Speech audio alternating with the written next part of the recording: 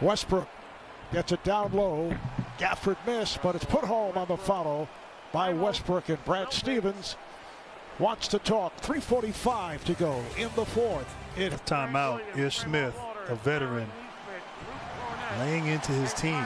Boston and Brooklyn as Westbrook walks back there to the locker room. Six minutes to go. and the winner would go against the Philadelphia 76ers.